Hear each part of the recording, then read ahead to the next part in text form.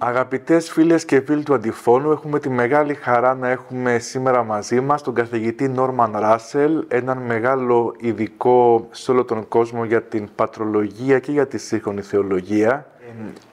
τα δικά σας έργα σε τι επικεντρώνουν την, την τελευταία δεκαετία, ποια είναι τα βασικά θέματα της εργογραφίας σας; Το βασικό θέμα είναι η θέωσης. Που, και αυτό το ενδιαφέρον άρχισε πάρα πολύ νωρίτερα όταν εργαζόμουν από το 72 νομίζω με τον Φίλιπ Σέραρντ mm. στις, στις, τον βοηθούσα με τις, με τις μεταφράσεις που έκανε και, και ο Σέραρντ με κάλεσε να λάβω μέρος στην ομάδα που θα ετοίμαζε την, την πρώτη μετάφραση ε, της έκδοσης του, του Πάμα, του, του, του, του Palmer, Sherrard and Ware. Δηλαδή, mm. ο πέμπτος τόμος κυκλοφόρησε μόνο, μόνο πριν από δύο-τρεις μήνες. Επιτέλους ολοκληρώθηκε η έκδοσης. ήμουνα τότε ο μόνος μη Ορθόδοξος τότε, ε, εν τω μεταξύ έγινα Ορθόδοξος. Το πρώτο ο, πρώτο, ο μόνος μη ορθόδοξος που, που έλαβε μέρος σε αυτή την ομάδα. Μεγάλη τιμή για μένα.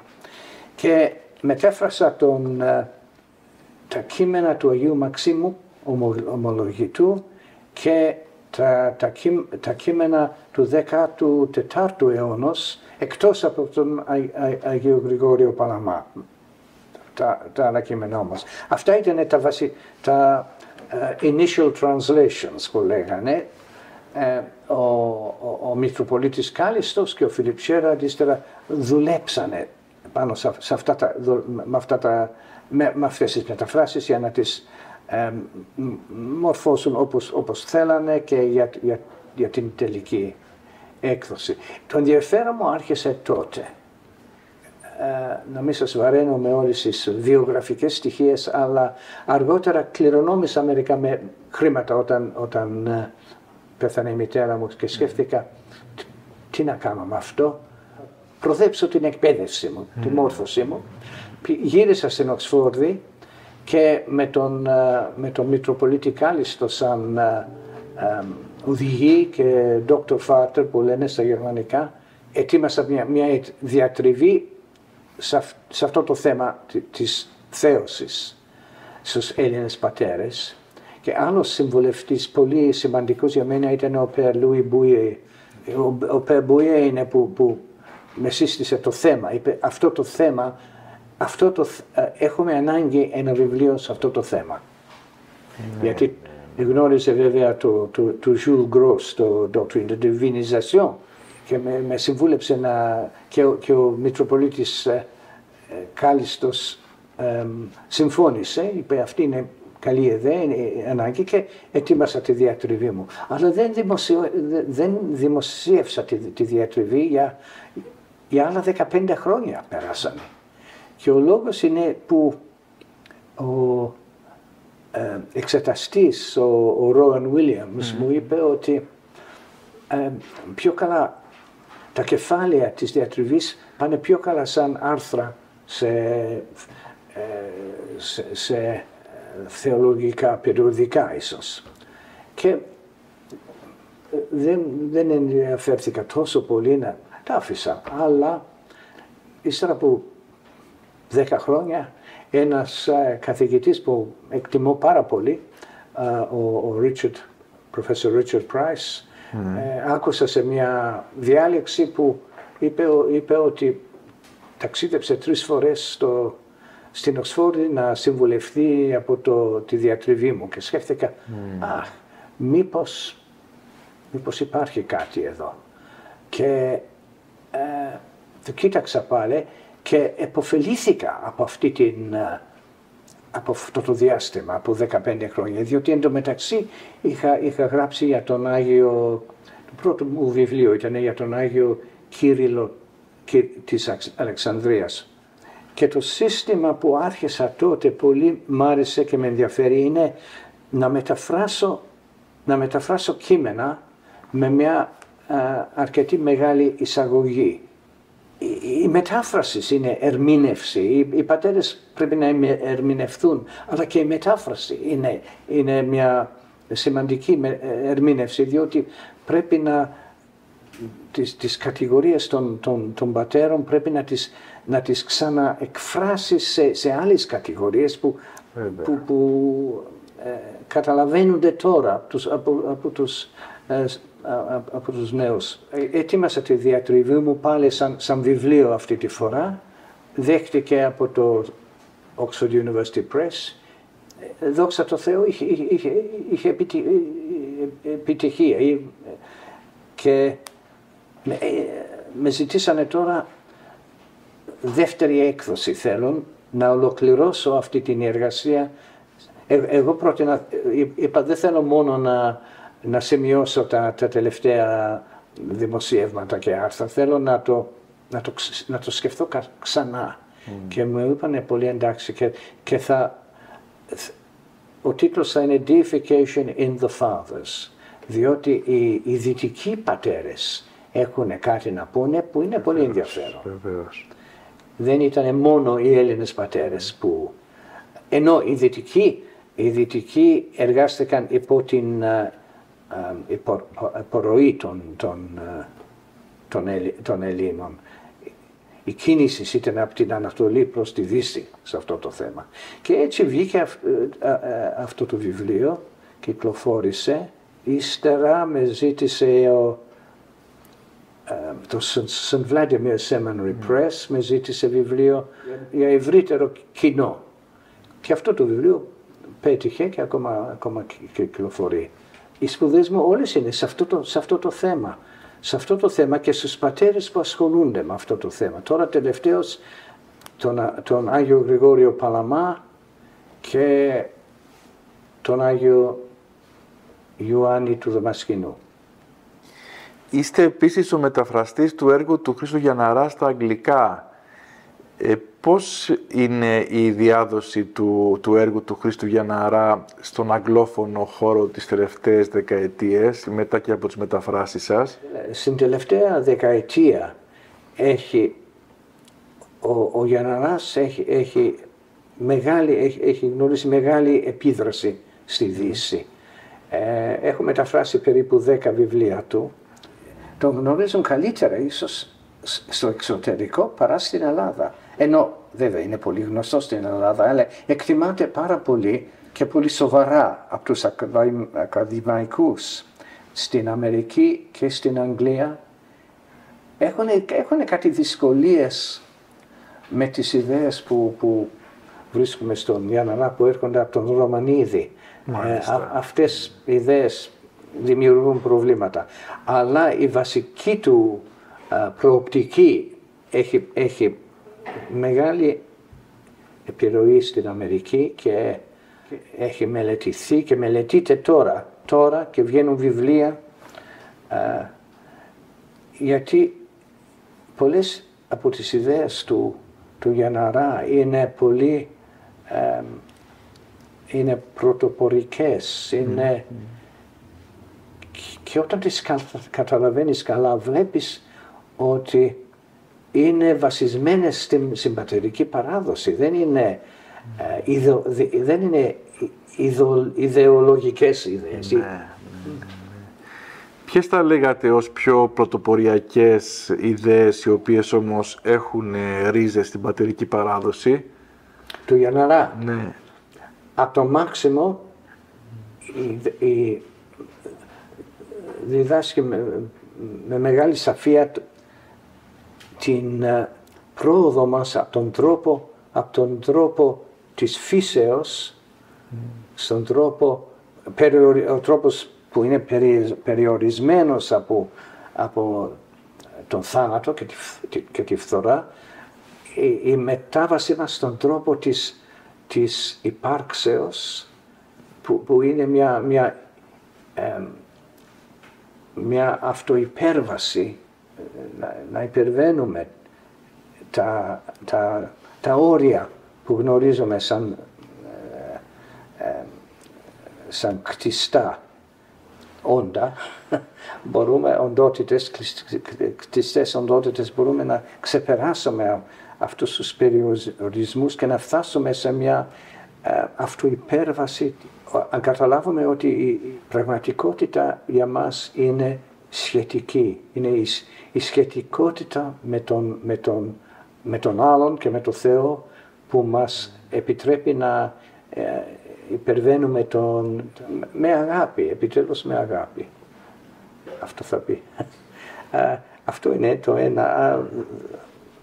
θέλω να συνεχίσω, αλλά ναι, ναι, βεβαίως, αυτό, αυτό το άλλο είναι ότι η οντολογία, η οντολογία της, της σχέσης είναι πολύ ε, σημαντική στον, στον Γιάνναρα και μελετείται από τους φιλόσοφους στην, στην Αμερική. Η οντολογία της είναι, είναι μια εξέλιξη του Χάιντιγκα που πάει mm. πολύ πιο βαθιά από το Χάιντιγκα. Στο, στο δικό μου το τελευταίο βιβλίο που θα, θα βγει, θα, αυτό που θα κυκλοφορήσει um, Against Religion, ενάντιον της θρησκείας, um, δίνει μια πολύ, εξηγεί πολύ καθαρά την, την, τη διαφορά ανάμεσα θρησκεία και πίστη.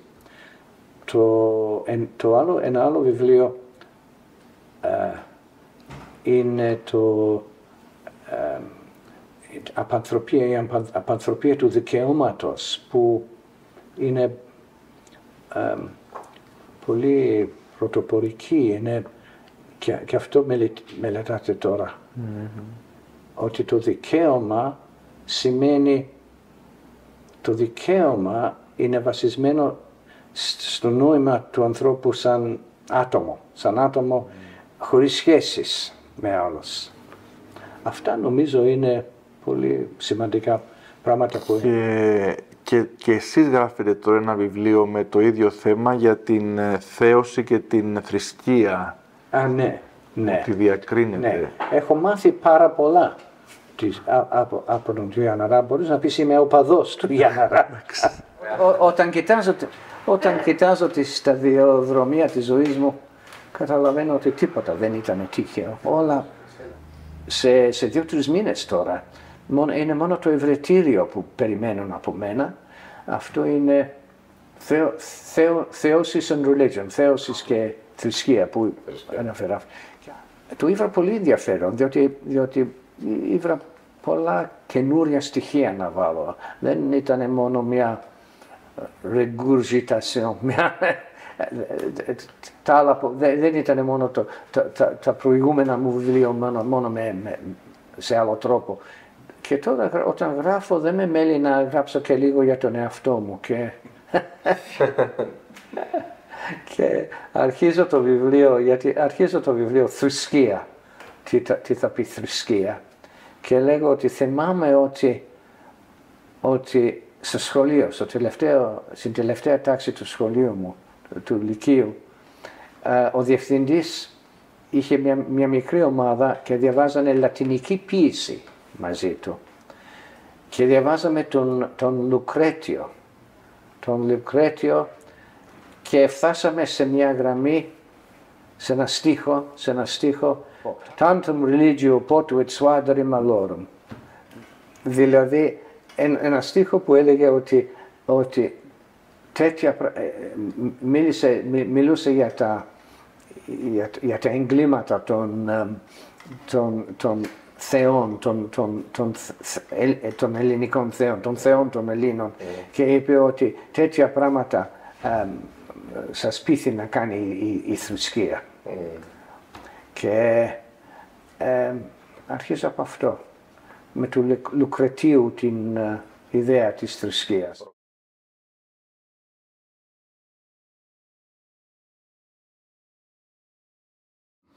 Αυτό πρέπει να γίνει.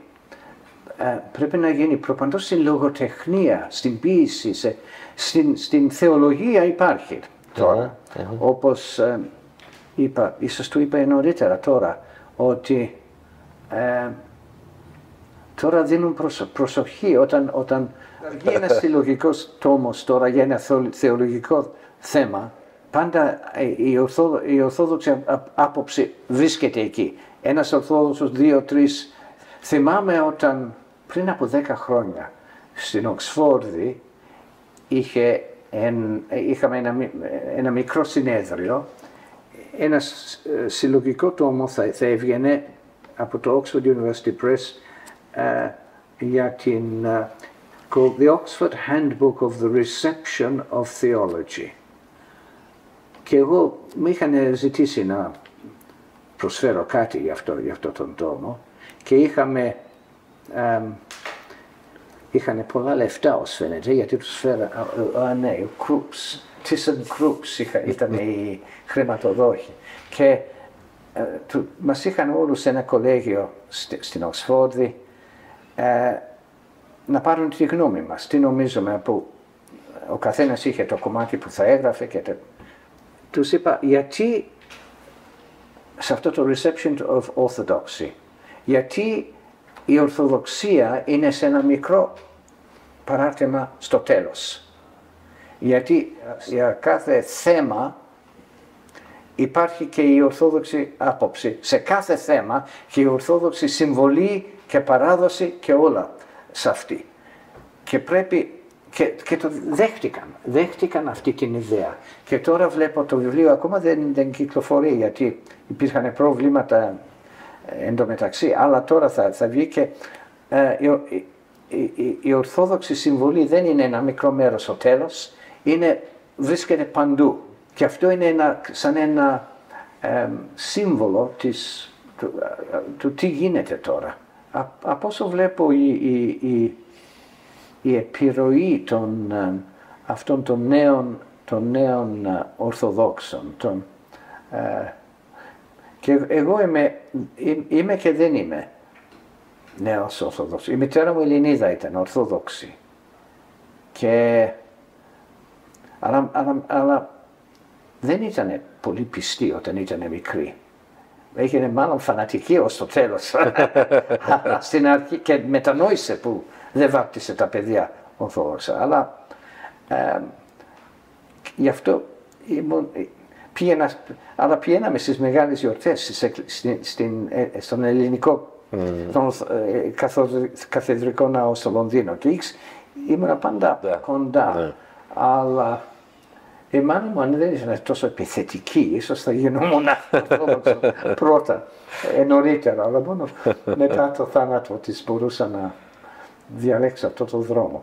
Αλλά ε, βλέπω πολλοί έχουν γίνει έχουν, είναι ο Άντρου Λάουθ, είναι ε, ο, ο Γιαροσλάβ Πελίκαν, πολύ, mm. πολύ γνωστή, David Bradshaw, φιλόσοφος, φιλόσοφος στην, ε, στην, στο Κεντάκι, από όσους γνωρίζω, είναι, αλλά είναι, ακόμα είναι, η επίδραση τους είναι ακόμα πολύ στην, στον ακαδημαϊκό επίπεδο.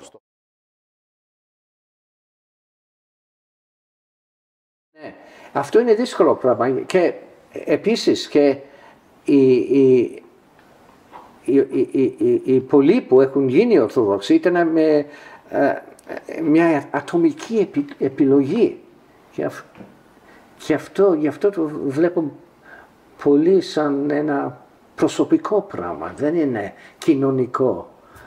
Ήμουν όμως στην ε, στη Νέα Υόρκη την περασμένη εβδομάδα, στη Νέα Υόρκη στο St. Vladimir's Theological Seminary και που, με, με έκανε πολύ εντύπωση εκεί που οι μαθητές εκεί ήταν, ήταν σχεδόν όλοι από ορθόδοξη καταγωγή, αλλά όχι από μια εθνικότητα, από πολλές εθνικότητες. Ο εθνικισμός ε, βλάπτει αυτό στην, στην, ε, στο, στο, στην Ευρώπη, στο, στην Αμερική, ακόμα που δεν μπορείς να είσαι Ορθόδοξος, είσαι Έλλην Ορθόδοξος, Ρώσος Ορθόδοξος, Ρωμανός Ορθόδοξος. Αυτό είναι, είναι ε, φέρνει δυσκολίες και αυτό. Ναι, αλλά για ιστορικούς λόγους έτσι, έτσι έγινε. Η διασπορά είναι σε, σε, εθνο, σε εθνικές εκκλησίες. Ναι. Όμως και εγώ όταν έγινα Ορθόδοξος δεν ήθελα να πάω σε μια εκκλησία που ήταν οι περισσότεροι Άγγλοι που, που γεννήκαν Ορθόδοξοι, διότι είναι, τους ήβρα πολύ, πώς το λέτε το self-conscious, πολύ αισθανόταν πάρα πολύ που εμείς είμαστε Ορθόδοξοι. Δεν ήταν, δεν ήταν κάτι που το δεχτήκανε και το, και το ξεχάσανε ότι εμείς κάναμε, κάναμε αυτή την επιλογή. Εμείς οι Ορθόδοξοι. Στην Οξφόρδη κάτι κοπέλες είδα που είχαν γίνει Ορθόδοξες και άρχισαν να φορούν ρώσικα ε, χωριάτικα φορέματα. Ε, ήτανε... αλλά, αλλά όταν έγινε Ορθόδοξο ήθελα να πάω σε μια εκκλησία που ήταν όλο ελληνική και ήβρα μια εκκλησία, Κύπρη ήταν, γιατί είναι στο Λονδίνο πολύ Κύπροι. Και ο, ο, ο παπάς τους ήταν, Έλληνα, ήταν Έλληνας από την Αθήνα και, και όλα ήταν σε ελληνικά και, και η ομιλία στα ελληνικά. Αλλά πολύ καλά, πολύ, πολύ, πολύ καλές ομιλίες έκανε, τόσο καλές που η γυναίκα μου με ρωτούσε τι, τι είπε ο πατήρ, κήρυγμα mm. ήταν στα ελληνικά; Mm. Μου είπε ότι πρέπει να μάθω να, να, να, να, να, να, να βγάζω κήρυξη στα αγγλικά. Λέω, όχι, τα, τα ελληνικά τα κηρύγματα είναι, είναι τόσο όμορφα που... αλλά για την νεολαία βέβαια, η νεολαία, δεύτερη, η δεύτερη γενεά, τρίτη γενεά πια, ε, και πήγα εκεί για να απορροφήξω μια, ε,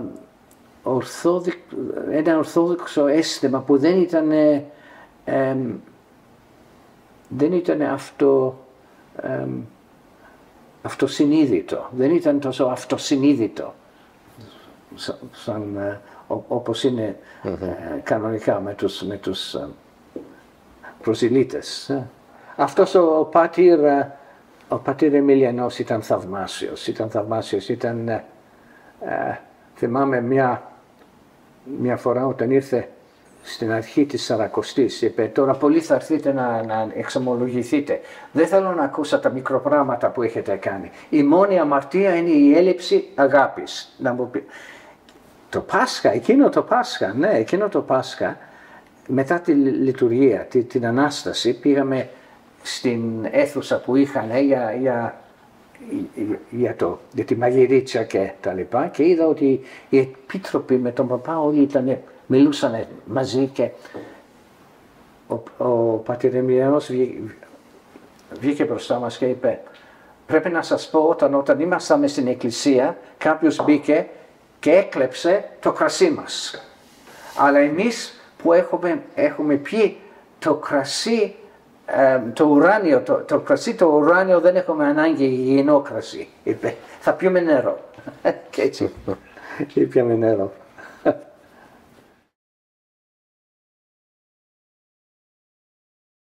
Τα διαβάζω εύκολα στα, στα ελληνικά, ναι, διότι, διότι έμαθα ελληνικά από τη μαμά μου στο σπίτι. Μιλούσα πάντα με τη μητέρα μου ελληνικά, με τον πατέρα μου αγγλικά. Και έτσι μιλούσα ελληνικά σε μια σε ένα απλό επίπεδο. Σε και όταν, πήγα, όταν ήμουν στο σχολείο, πήγα στο σχολείο και άρχισα τα αρχαία ελληνικά, υποστήριζα ότι, ότι τα αρχαία ελληνικά δεν είναι άλλη γλώσσα από τα νέα ελληνικά. Υπάρχει μια φυσική από τα αρχαία στα νέα. Και γι' αυτό να υποστηρίξω αυτή την, ε, αυτό το δόγμα που είχα, ε, έπρεπε να είμαι ο καλύτερος της τάξης στα αρχαία ελληνικά. Και αυτό με βοήθησε πάρα πολύ. Γιατί ποτέ δεν έχω, από παιδί, ποτέ δεν είχα ένα αρχαίο κείμενο που δεν μελετούσα για ένα λόγο ή άλλο. Ευχαριστώ πολύ για την, για την ε, υπομονή σας με μένα και με, με τις δυσκολίες. Γιατί αυτές οι σκέψεις τις έχω, τις έχω κάνει στα αγγλικά και να, τα, να μεταφράσω αυτές τις σκέψεις γρήγορα στα ελληνικά είναι, είναι πολύ δύσκολο. Και ύστερα από από μια εβδομάδα στην Αμερική πρέπει να είμαι εδώ. Ευχαριστώ πολύ.